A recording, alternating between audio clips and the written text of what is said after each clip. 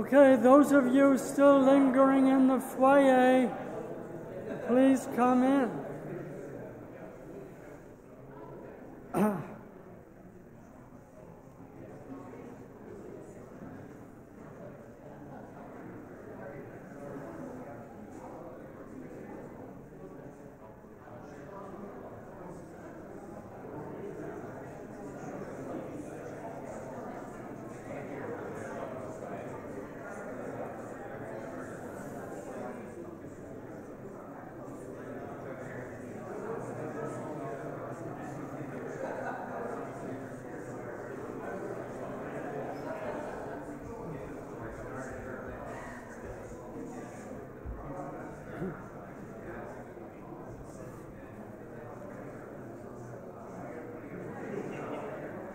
Right, ladies and gentlemen, we'll, we'll move toward the final formal lecture of the day.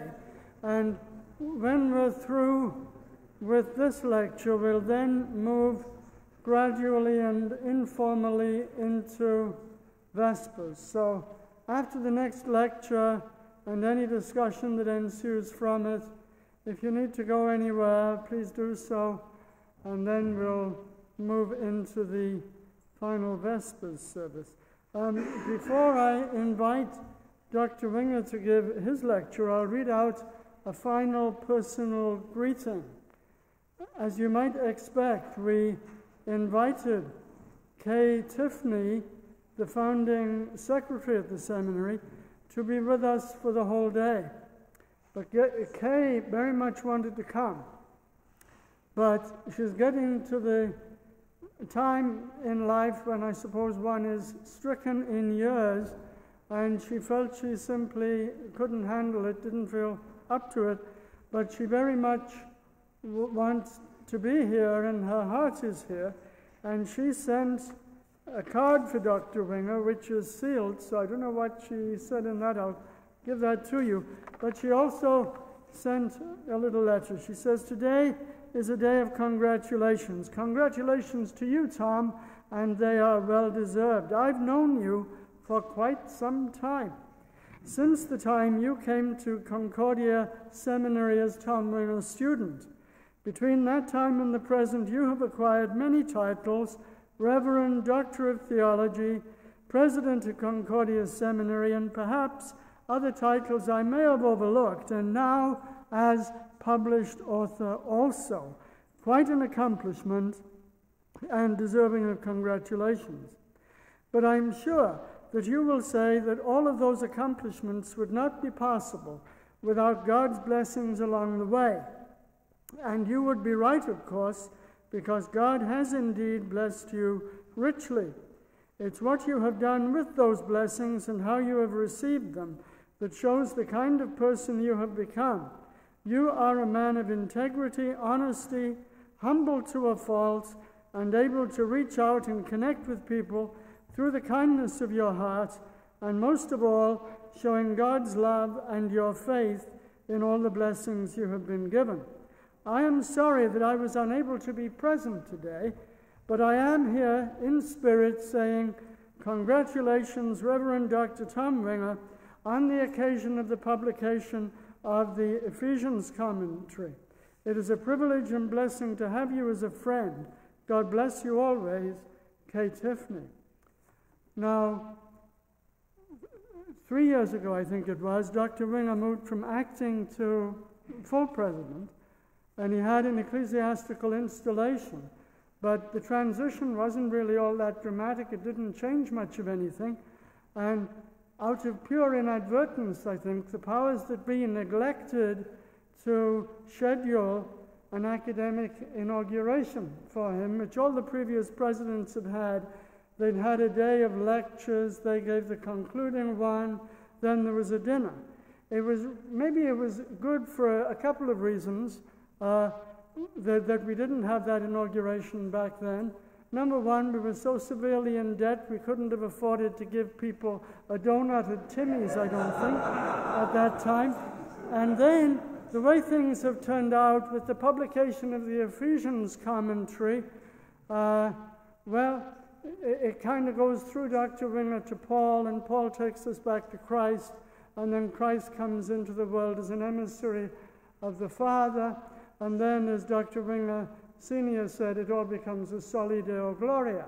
So the whole thing is a soli deo gloria, but um, certainly, Tom, as your former teacher, as your friend, and now your subordinate colleague, I must say I find it an utter delight to work with you, under you, and um, I really rejoice in the leadership you give to the seminary and in these very, very difficult, troubling, trying times.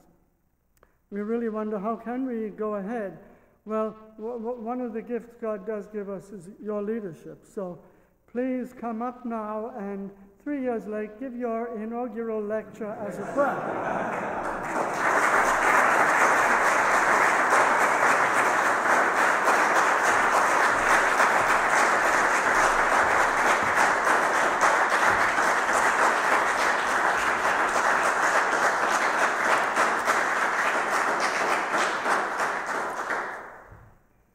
With such a kind introduction, I'm almost afraid to point out that he missed the prefix in Be- before subordinates. But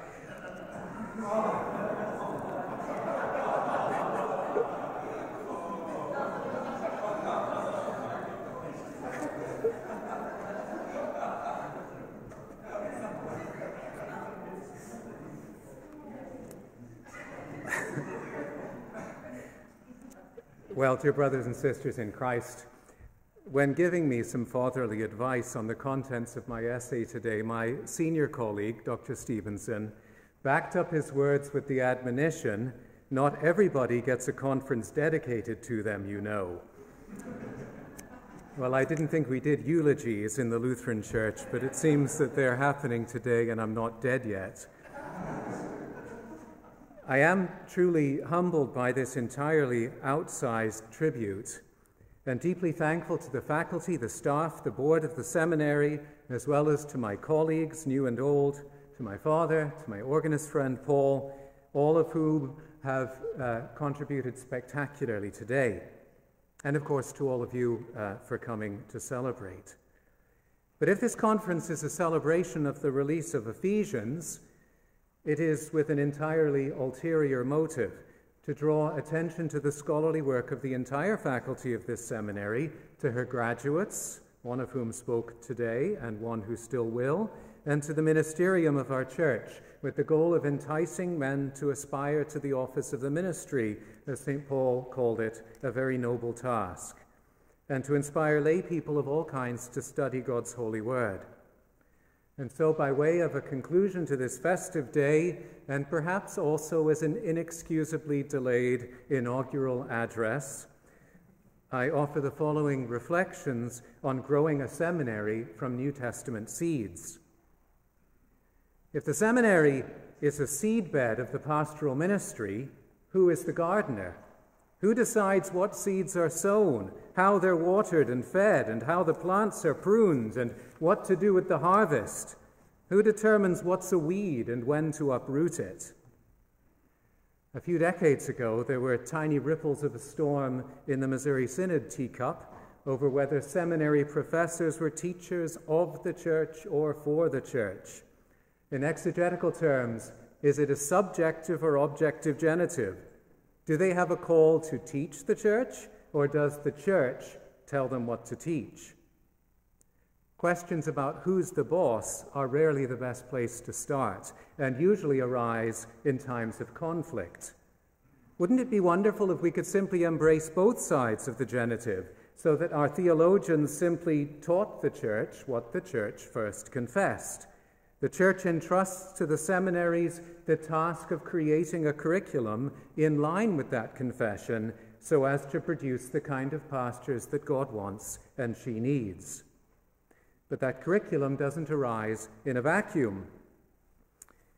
Five years ago, in preparation for this seminary's comprehensive accreditation visit, I researched the history of our curriculum and I was intrigued by what I found. You'd probably be put to sleep, but I was intrigued. the original 1976 curriculum was inherited from our Fort Wayne mother, the Missouri Synod's so called practical seminary. It was therefore heavy on practical theology, which comprised fully one third of the MDiv, with courses like administration of parish education, pastoral psychology, crisis counseling, and Christian social ethics, a product of the times. Over the years, the mix was rebalanced a bit, but it seems that individual faculty members also stamped it with their own interests. A lengthy biblical interpretation course, cross cultural ministry, hymnology, messianic prophecies, theological ethics, world religions. Some of you could probably name the men responsible. And in recent years, church conventions have petitioned the seminaries to beef up their teaching of present day concerns like stewardship and creation. But who is the gardener and who makes the plant grow? Ever more water and fertilizer may simply drown and poison the crop. Better pastures are not necessarily made by pumping in more information escalating from a garden hose to a fire hose to keep up with an era of information overload. It may be a very slight misapplication of the text, but Paul's words to the Corinthians offer an appropriate corrective. I planted, Apollos watered, but God gave the growth. We may formulate mission statements for our seminary that set down what kind of servants we strive to develop. But what is always of crucial importance is whose servant is he? My predecessor in office, Dr. Jonathan Grothe, wrote a little gem that I read way back in 1988 entitled Reclaiming Patterns of Pastoral Ministry Jesus and Paul. What would a seminary look like if we followed these New Testament patterns? It was 20 years ago, not quite today, that I had the rare and undeserved privilege of sharing the podium of our district pastors conference with my teacher, Norman Nagel. Typically, he handed out a ratty photocopy of a few articles from the Augsburg Confession on the Holy Ministry and lectured in his brilliant, contorted, and seemingly off the cuff manner. I followed nervously with a laborious essay on the office of the Holy Ministry according to the New Testament mandate of Christ. My plan was to take the kernel of an idea from Dr. Nagel and try to demonstrate it exegetically.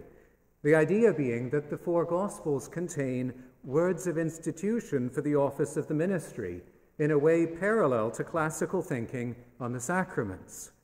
For if the ministry was an order in the church that could only be traced to the apostles, then it might be considered optional or changeable, as indeed functionalists and proponents of women's ordination would contend. Mining the Book of Concord's various articles on the office of the ministry, I identified five key texts which I believed the Lutheran reformers had seen as containing Christ's institution. Matthew 16, 19 to 20, Matthew 28, 16 to 20, Mark 16, 15, Luke 10, 16, John 20, 21 to 23 your wheels are turning. If these texts seem familiar, it's because we know them already as the institution texts for baptism and the office of the keys, as well as key texts mandating the apostles to preach the gospel to all creation. In other words, our 16th century confessional forefathers believed that when Christ instituted each means of grace, he simultaneously instituted the office by which that means would be administered. So the functions don't float about in abstract, but are to be carried out by real people put into office by Christ Himself and representing Him. In order to make this clear, the Book of Concord quotes one of those texts more than any other. The one who hears you is hearing me, and the one who rejects you is rejecting me and the one who rejects me is rejecting the one who sent me. Luke 10:16. This text, which reflects the Jewish rabbinical shaliach principle, sets forth the fundamental presupposition with which the Lutheran reformers approached the ministry. The word proclaimed by ministers is valid and effective not because of their power or character, but because of the promise of Christ that he will speak through them. Go to Apology 7 and 28 mainly. When the pastor faithfully speaks the word of Christ, even if he himself is impious, wicked, or unworthy, Christ himself is present through him to speak and to forgive. The ministry is about hearing Jesus.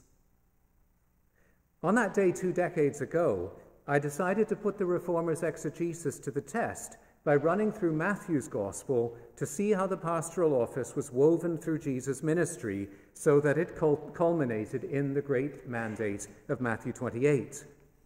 Along the way, I began to suspect that Matthew was distinctive among the Gospels, not in its theology of the ministry, but in its purpose.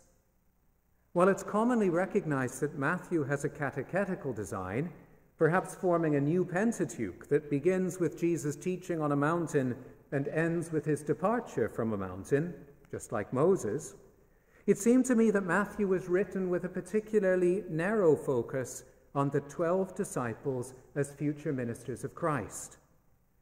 To use a Lutheran distinction or Lutheran illustration, if Mark is the small catechism, the gospel of Christ in a nutshell, as Peter preached it, Matthew is the large catechism, aimed at the preachers of that gospel. The content is essentially the same, but the audience is different. Matthew seems to be written to catechize the catechists, to teach the teachers to teach. And if this is true, then it opens a window on our Lord's own formation of the first ministers of his church. And before we can hear Paul, we must hear him. The Sermon on the Mount is a distinctive and beloved part of Matthew's Gospel, and I in no way wish to take it out of the hands of any Christian. But it seems to me that there are clear signs that we're listening in on our Lord's first seminary class. In distinction from Luke's somewhat parallel Sermon on the Plain in chapter 6, which addresses the crowds from the outset, Matthew in chapter 5 tells us that our Lord fled the crowds to teach his disciples alone. Now, the word disciple, mathetes, means nothing more one, than one who learns. But who these particular disciples were is given to us by the immediately preceding context. They are Peter and Andrew and James and John, four fishermen whose vocation was overturned by our Lord's call Follow me, and I will make you fishers of men. Thus began what would be a three year journey with Christ from call to ordination and sending, as narrated in Matthew's Gospel. Jesus promises them that if they follow him, he will make them fishers of men, future tense. They don't materialize as fully formed preachers, as some of our first year seminarians might think as if willingness alone could qualify them for the job, but he would form them. And it began with following Jesus, being in his company as he taught, preached, and healed every kind of disease. And then he sat them down on a mountain, away from the crowds, for their introduction to theology course.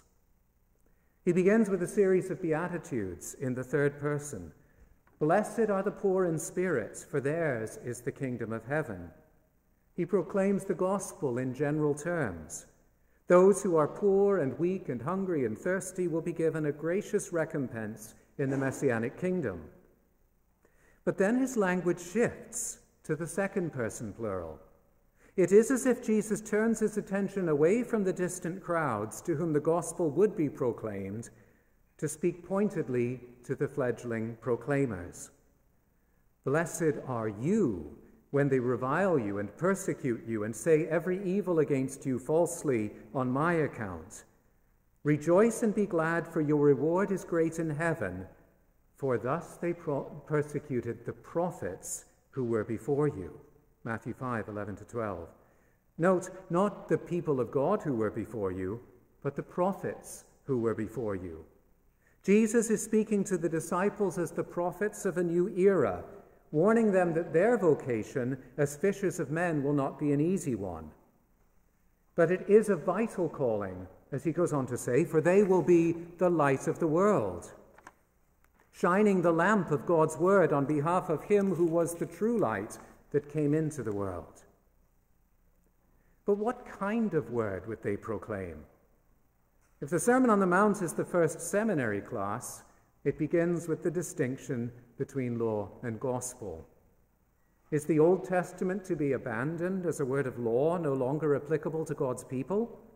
No, Jesus says, for he did not come to abolish the Torah and the prophets, but to fulfill them. It was crucial for the disciples to understand this. For the would be teachers of Israel, the Pharisees, taught the Torah as a book of law by which men could hope to achieve righteousness before God. But Jesus says, far from relaxing the precepts of the law or setting aside the teachings of the Torah, his disciples were to do and to teach them in such a way that their righteousness, the righteousness that they did and taught, would far exceed that of the Pharisees.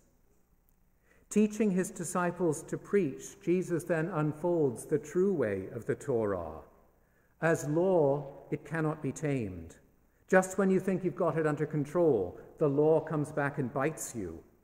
You may think you've obeyed the fifth commandment, but if you get angry with your brother, then you've committed murder in your heart. Thus, the disciples are taught to preach the law in such a way as to avoid self righteousness and to lead people towards Jesus. And so the sermon proceeds.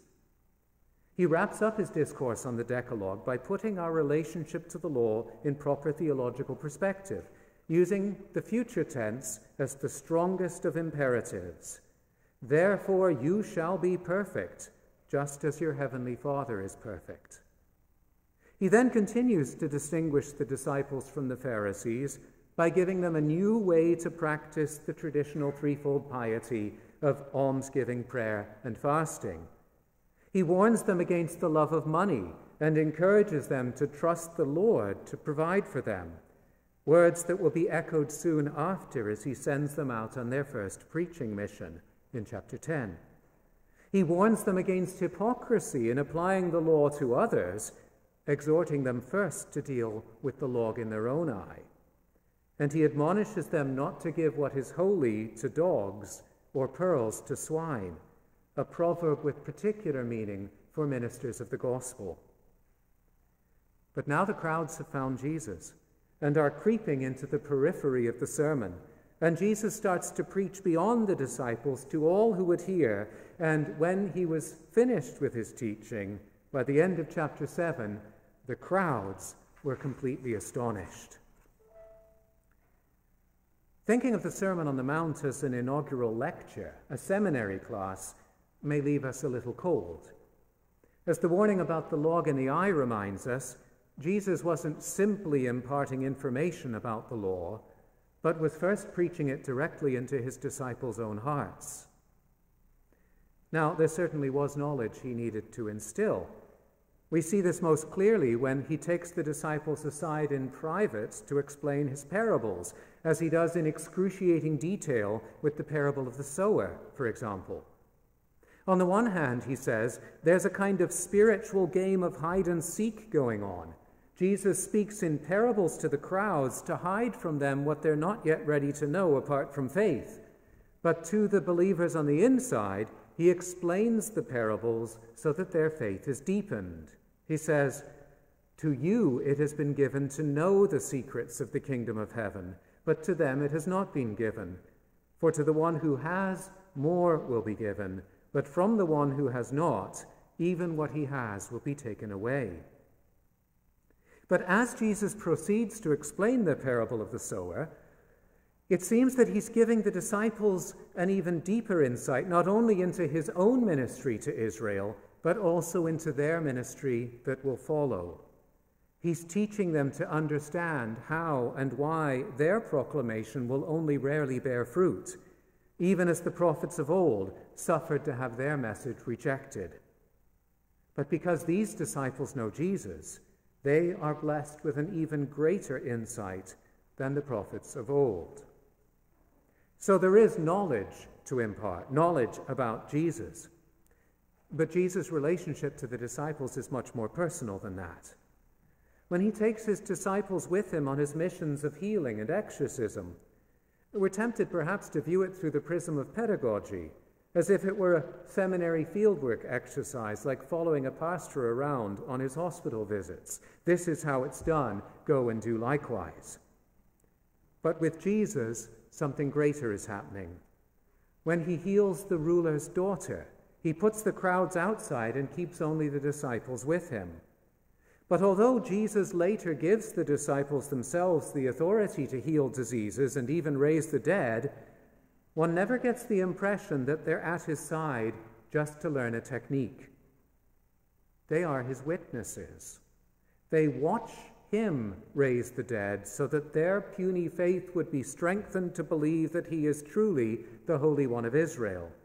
And they watch him so that they can be his witnesses to testify to Israel and to the Gentiles to the truthfulness of the gospel.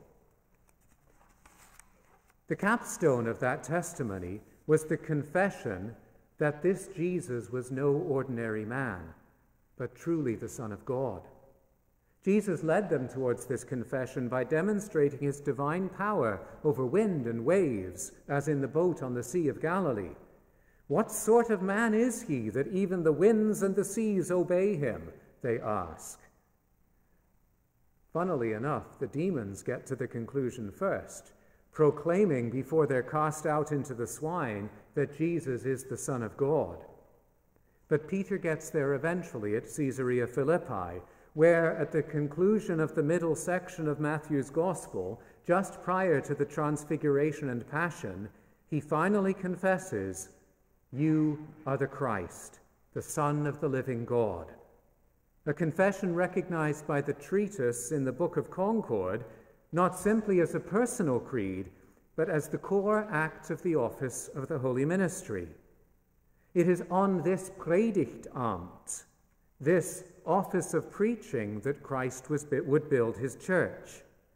And so Jesus replies to Peter that he will give him the keys to the kingdom of heaven, a promise brought to fruition on Easter Eve in John 20.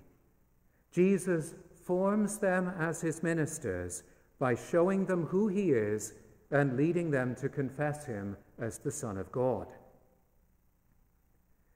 Jesus teaches his disciples Christology by performing miracles that testify to his divinity.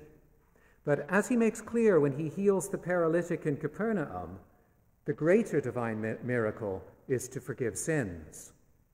When Jesus sees the faith of the paralytic and the men who brought him, by the way, he immediately proclaims that the man's sins are forgiven. This causes great consternation among the scribes who know that only God has the authority to forgive sins and therefore accuse Jesus of blasphemy. Jesus trumps this charge by proving that he is indeed divine. But that you may know that the Son of Man has authority on earth to forgive sin, he then said to the paralytic, Rise, pick up your, be- your bed, and go home. When the crowd saw it, they were afraid, and they glorified God who had given such authority to men. Authority is a key concern of Matthew's Gospel. It has come up in the previous chapter in Jesus' dealings with the centurion seeking healing for his servant, Matthew 8, who says, Lord, I am not worthy to have you come under my roof, roof, but only say the word, and my servant will be healed. For I too am a man under authority, with soldiers under me. And I say to one, Go, and he goes, and to another, Come, and he comes, and to my servant, Do this, and he does it. When Jesus heard this, he marveled. What's Matthew getting at with these closely connected stories about authority? A clue may be found in the final sentence I read a moment ago from Capernaum they glorified God who had given such authority to men, plural. This isn't simply about Jesus, but about those on whom he would confer his authority. By his own words and actions, even by the testimony of others, Jesus teaches his disciples what it means to wield God's authority. This conclusion is suggested by the placement of the account of Matthew's own call immediately after these words in Matthew 9. But it becomes explicit in the next chapter when Jesus confers authority on his disciples and sends them out on their first mission, of which more anon. And towards the end of the Gospel, when the mother of the sons of thunder seeks for James and John thrones on Jesus' right and left hand in his kingdom, Jesus is prompted to teach the disciples the spirit in which they're to wield any kind of authority that he might give them. He says, Matthew 20, You know that the rulers of the Gentiles lord it over them, and their great ones tyrannize over them. It shall not be so among you, but whoever would be great among you must be your servant, and whoever would be first among you must be your slave, even as the Son of Man came not to be served, but to serve, and to give his life as a ransom for many. They are to be servant like and Christ like in their exercise of authority, because the authority they wield is Christ's authority. This is the way he expresses it at the conclusion of the Gospel. All authority in heaven on earth has been given to me, therefore you go make disciples of all nations. Now, finally, since they have watched the Messiah suffer, die, and rise again, finally they're ready to receive and use his authority rightly. But let's go back to Matthew's call for a moment. To what was he called? To follow Jesus, obviously, but what does that entail? The very next sentence in Matthew 9 describes the experience. And it happened that as Jesus was reclining at table in the house, behold, many tax collectors and sinners came and ate with Jesus and his disciples. The verb anakeimai, to recline, usually undertranslated in our Bibles as sat at table, implies that Jesus was not simply eating with these sinners, but feasting with them, as the posture of lying down to eat was a sign of unfettered leisure. The disciples of the ascetic John the Baptist noticed the significance of this body language when they asked in the very next paragraph why the Pharisees fast, but Jesus' disciples feast. To this, Jesus replies that he, the bridegroom, is present with his wedding guests. The time for fasting will come when he's withdrawn from them. The implication is that Jesus is giving his disciples a foretaste of the feast to come. They're experiencing heaven on earth. Far from getting a simple lesson in hospitality to sinners, these future ministers of the gospel are given a glimpse of the heavenly goal towards which they will be leading his people. They are formed by feasting with Jesus. He gives them the same experience when he leads them through the fields on the Sabbath and allows them to glean wheat and eat it in his presence. In this way, the Sabbath is shown not simply to be abolished in Christ, but rather to be fulfilled. The true mark of the Messianic age is to rest and to eat with Jesus. In a far more dramatic fashion, Jesus demonstrates this by feeding the 5,000 in the wilderness. The pastoral character of that story is indicated firstly by Jesus' instruction to the disciples you give them something to eat, an injunction they're unable to carry out by their own power. Only when Jesus multiplies the bread and fish are they able to carry his gifts to the people. Here again, they're taught the significance of their coming ministry to give out divine food as servants of Jesus. Of course, the significance of reclining at table with Jesus becomes most clear when our Lord once again in the more intimate setting of the upper room, takes bread to break it. Here, finally, Matthew reveals where all previous meals with Jesus were leading, as Jesus connects this meal with his death, gives his precious body and blood into their mouths, and solemnly informs them that he will not eat it with them again until he comes into his kingdom. A reference which, I think, is to his return on the last day, the coming of the bridegroom that puts an end to all fasting. Jesus' call to discipleship, the call to follow him, is always accompanied in Matthew's Gospel by the sober realization that this time of fasting will be hard. Following Jesus means carrying the cross, suffering and dying with him. But beyond the universal significance of that somber warning for all who would follow him, Matthew's Gospel focuses its beam on the hard and narrow path that lies especially before those who would be Jesus' ministers. The scribe who leaps at the chance to follow Jesus is warned that as the Son of Man has no place to lay his head, so will his ministers be housed less comfortably than even foxes of the ground and birds of the air. Anyone want to agree with that? Right. In contrast to this eager beaver, the next would be disciple wants to linger over his family and bury his father before committing himself to Jesus' path.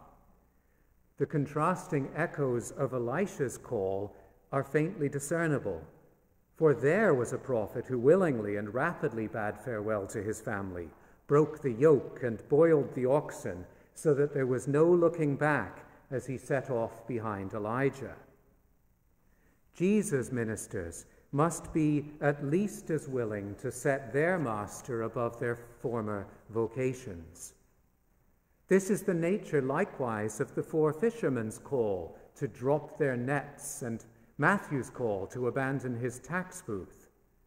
This isn't merely a figurative depiction of the call to faith for people who would not literally abandon their families to follow Jesus but a rather literal picture of the single minded sacrificial vocation to which his ministers are called. These early chapters of the Gospel culminate in the great mission of Matthew 10, which is introduced by these words at the end of chapter 9, which were last year's seminary theme. When Jesus saw the crowds, he had compassion on them because they were harassed and helpless like sheep without a shepherd. Then he said to his disciples, The harvest is plentiful, but the laborers are few. Therefore, pray earnestly to the Lord of the harvest to send out laborers into his harvest. Chapter 10 then calls these laborers apostles, the first and only occurrence of the term in Matthew's Gospel. These twelve are Jesus' sent ones, as the word apostles means going forth to continue Jesus' own mission to Israel, and by chapter 28, even to all the Gentiles. But we shouldn't assume, since apostle is not Matthew's favored term for the twelve as it is for Luke, we shouldn't assume that Matthew has less interest in them as apostles, as preachers of the kingdom. By concentrating on the term disciple, Matthew focuses on the, on the twelve's relationship with Jesus, his teaching and forming them to be his apostles. Matthew introduces the term apostle here only briefly to give us a glimpse of the mission that Jesus has in store for them when they're ready, a foretaste of the ongoing apostolic mission which he commits to them in Matthew 28. Here in Matthew 10, Jesus grants them a temporary authority to be his instruments in casting out demons, healing diseases, and preaching the coming kingdom throughout Israel. Again, he warns them that they will suffer as he suffers, preaching without pay, accepted by some, but rejected by many. And he warns them that God has in store a Sodom and Gomorrah like punishment for those villages that reject them. As he does so, he prepares the way for his summative statement on the nature of the ministry to which they're called. The one who receives you receives me, and the one who receives me receives the one who sent me. Matthew 10:41. Here Jesus refers to his own mission from the Father using the verb apostello, to send, the verb that lies at the root of the word apostle. Just as he is God the Father's apostle to the world, so the twelve are his apostles. Jesus continues his mission through them and in this way, as he promises at the gospel's end, he will be with us until the close of the age. Once again, we're tempted to view the training of Jesus' disciples in purely pragmatic terms. I myself have occasionally compared the short term mission of Matthew 10 to our seminary tradition, dating back only to 1932, by the way, of sending out students on a one year vicarage or internship. We think of this vicarage as the chief practicum in their training, an intensive time of shadowing an experienced practitioner and practicing their preaching, teaching, and visitation under supervision. But the twelve weren't on vicarage. They weren't learning techniques from Jesus. They were being conformed to him. They were experiencing the power of his word and mandate. They were learning the truth of his claims to have power over sin, death, and demons, and becoming firm in the confidence that Jesus could, keep, could give this authority to men. Soon, as his ominous warning about their coming time of fasting had intimated, Jesus would be taken away from them visibly, and they would need to rely on his word of promise alone. Thus, we shouldn't be surprised that as his death approaches, Jesus withdraws steadily from the crowds, draws his disciples close to him, and begins to prepare them for what is coming. Here we see Jesus lamenting that Jerusalem has ever killed the prophets and stoned those sent to it in Matthew 23. Jesus then takes the disciples aside privately on the Mount of Olives for his final words in chapter 24. He warns them that the temple will be destroyed to punish Jerusalem for rejecting him, and he proceeds to unfold the signs of the coming judgment. And at the close of the discourse, he tells three successive parables that are directed specifically to the imminent moment when the disciples will begin to carry out their ministry. Who then, he says, who then is the faithful and wise servant whom his master has set over his household to give them their food at the proper time. Blessed is that servant whom his master will find so doing when he comes. The image of Christ's minister as a trusted servant put in charge of God's household is one we will soon see in 1 Timothy. Here in Matthew, it's critical again to note that this parable does not appear to be directed at all Christians. Rather, Jesus is giving a solemn charge to the twelve to care for his household until he returns, fiercely warning them that the returning master will deal ruthlessly with any servant who's found abusing the members of the household rather than feeding them. A very contemporary warning, I think. The next parable concerning the ten virgins should, I think, be read on the heels of what preceded. The image is the same, but rather than a returning master, we now have a bridegroom. We await Jeff Gibbs' third volume to lay out the manifold ways that the virgins and their lamps have been interpreted through the ages. The crude Reformation dichotomy is that the papists saw the oil and the lamps as the good work of the saints by which they would gain entry into the eternal feast, or lacking them be barred. Luther characteristically turned the table by identifying the oil with faith. But at the risk of disagreeing with an icon, neither interpretation seems to me to do justice to, the standard, to standard New Testament imagery or to the context of the parable. For, on the one hand, in every New Testament example I can think of, the bride is the image of the church. The bridegroom is Christ, and the wedding banquet is the eternal heavenly feast to which he brings us. In the parable of the ten virgins, the bride, that is the church, is actually a peripheral figure, not actually mentioned in the story. The ten virgins are the attendants on the bride, the ones who get her ready for the coming of her beloved. They do so by holding forth the light of their lamps, a consistent biblical image for the Word of God. As Christ first proclaims to his newly called disciples, You are the light of the world, so their mandate was not to hide that light or let it go out, but to continue shining it to the church until Christ returned. Thus, reading this parable in its context, we must surely understand the ten virgins to represent the apostles who were mandated to hold forth the word of God to the bride faithfully, with the stunning warning that if they forsook this calling, if they abandoned his word, letting their lamps go out, their own place in the heavenly kingdom would be forfeit. Time doesn't permit us to, to devote a great deal of attention to the next parable, that of the talents. But reading it in line with what preceded, we're surely encouraged to view the three servants entrusted with their master's goods until he returns as figures of the apostles. Like the oil and the lamps, the talents to be used for the growth of the master's fortune surely represent the word of God. All the master demands of them is faithfulness, not results. As in the parable of the sower, the proclaimer of the word can only scatter it, invest it in the kingdom, and leave the growth to the Lord. The servant who earns five talents is rewarded no more richly than the one who earns two. But the servant who refused to put his master's goods to work, burying the talents in the ground, is condemned and excluded from the kingdom.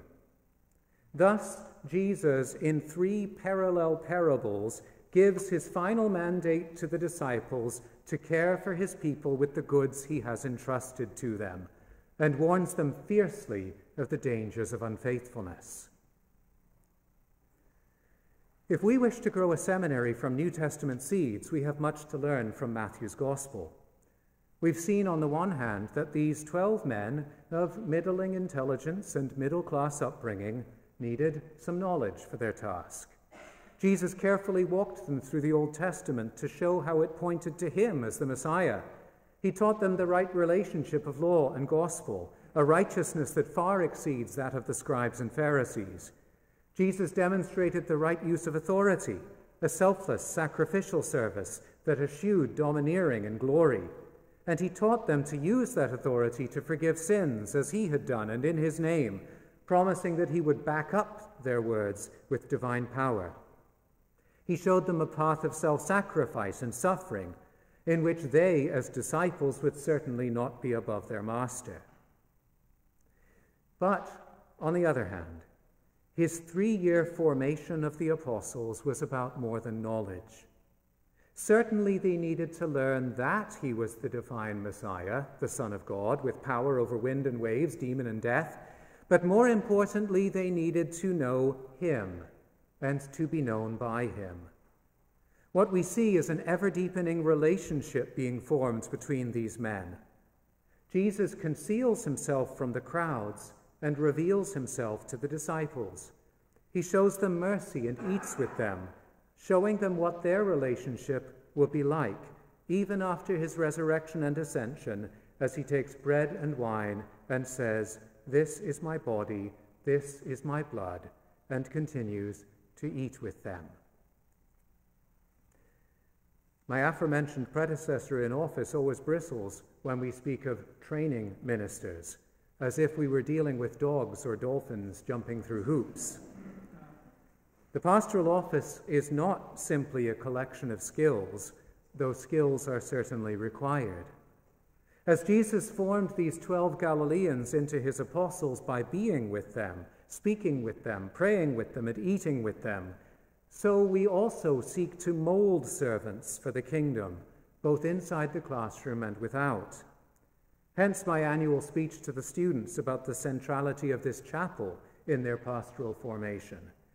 Unless they're drawn closer to Jesus by listening to his word, submitting their will to his will, and being united to him by his body and his blood, then their knowledge and skills will be in vain, disconnected from the one who gives them life. So also we form men into pastors by being pastors to them. This is why we call only ordained Lutheran pastors to teach here. This is what makes a seminary distinct from a university department of theology. The classroom is my pulpit, my Westfield colleague Glenn Sweck used to remark. But it is also true that the pulpit is our pulpit, and we stand at the altar both with and in front of our students.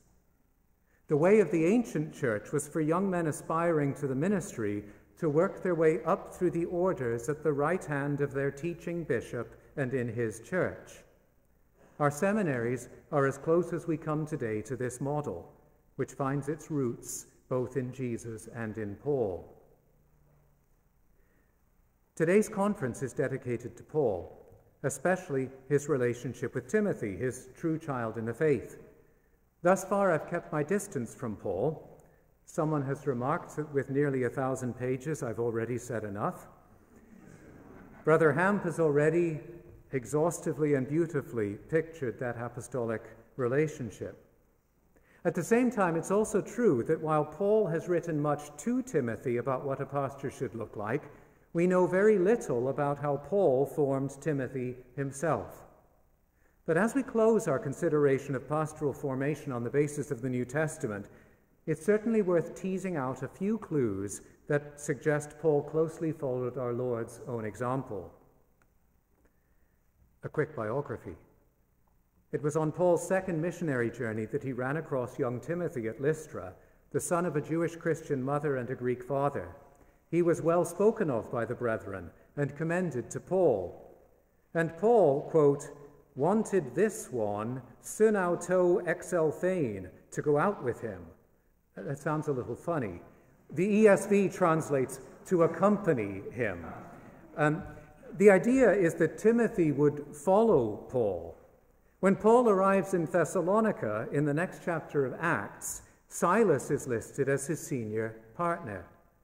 When Paul is driven out of neighboring Berea, Timothy is left behind with Silas to be his junior, as he again appears to be when Silas and Timothy, in that order, travel from Macedonia to meet Paul in Corinth.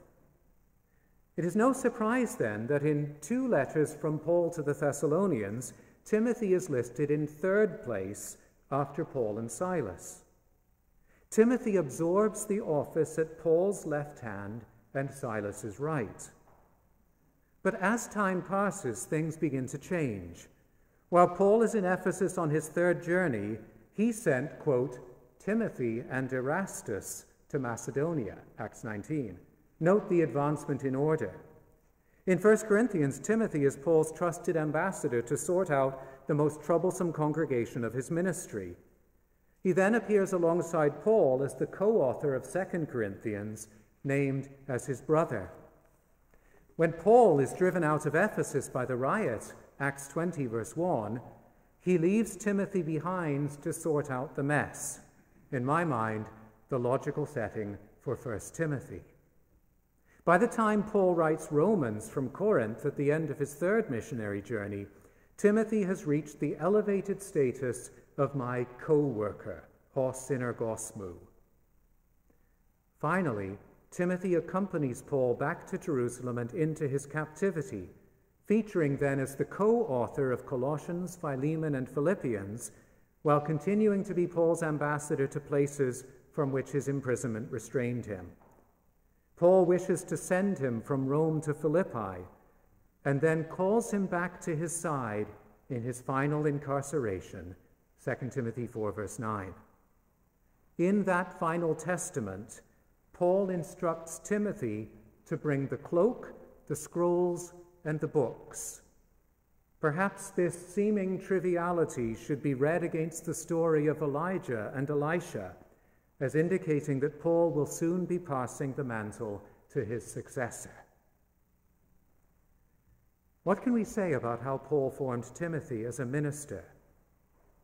We learn nothing from Acts about any classroom instruction in theology that Paul likely gave Timothy, I don't doubt it. But what we do see is the same master disciple relationship that characterized Jesus and the twelve. Paul calls Timothy to follow after him, and step by step he molds him into imitation of his office. He entrusts authority to him slowly and confers full authority only with the laying on of his hands when Timothy is ready. 2 Timothy 1 6. Along the way, Timothy grows from commended brother to co worker of Paul to my true child in the faith. Paul forms him into a faithful minister by personal contact in a father son relationship. No wonder then that when Paul gives Timothy instruction on the kind of man who is suited to the office, in the famous words of 1 Timothy 3 that Pastor Ham read to us earlier, the familial image is paramount.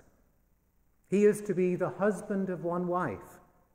And after listing a series of important personal qualities, Paul returns emphatically to this paternal image presiding well over his own household, having his children in submission with all dignity. For if someone does not know how to preside over his own household, how will he care for God's church?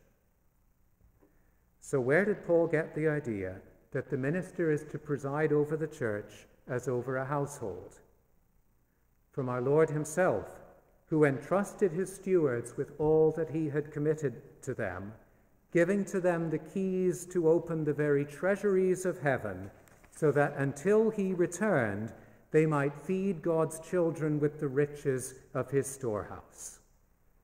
And so may we all be found faithful in that same task until he returns.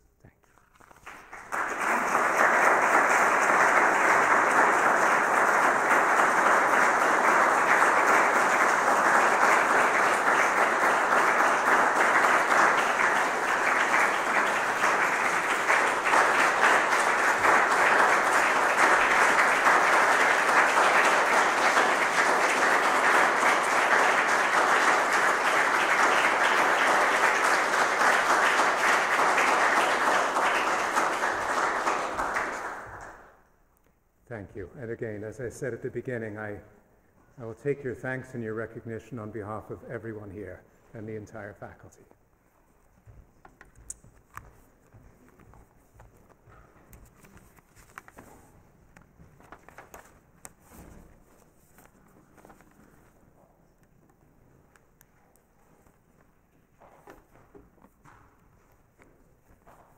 As Pastor Reinhardt is getting ready, would Anyone care to ask any questions? Or Dr. Stevenson, you're in charge, so I hesitate to invite it.